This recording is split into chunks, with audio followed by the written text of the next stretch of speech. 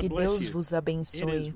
Reconhecer o dia de vocês e a mensagem dele. Nós acabamos de concluir a fita de 26 de julho de 64. Foi uma fita tão maravilhosa.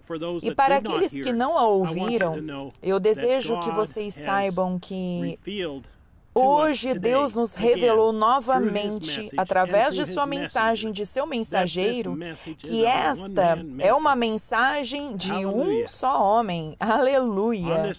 Nesta mensagem, logo no início do primeiro parágrafo, ele disse: Nós te agradecemos, ó Deus, porque há pessoas que estão prontas e se preparam para virem ouvir independentemente das condições e do tempo em que vivemos, eles ainda creem e nós te agradecemos por eles.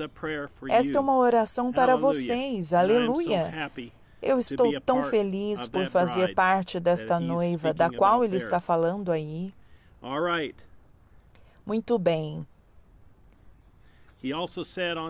Ele também disse no parágrafo 18: Ou a lei nos parará, ou Satanás se infiltrará no meio de vocês e vos dispersará.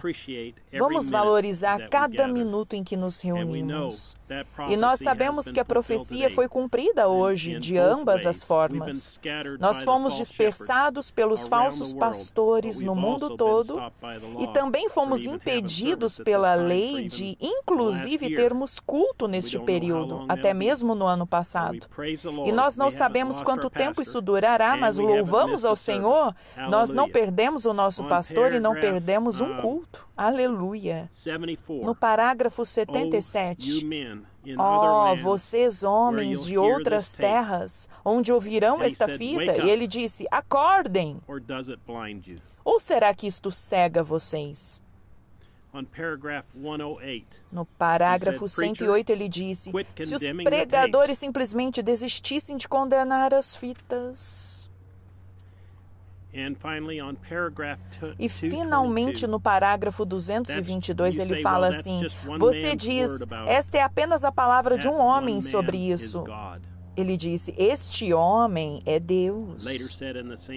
Em seguida, no mesmo parágrafo, ele disse: Como o Espírito Santo falou através dele, este vaso humilde e indigno que coincidiu de estar presente na era em que o grande rei disse: Aqui está o meu cetro. Amém.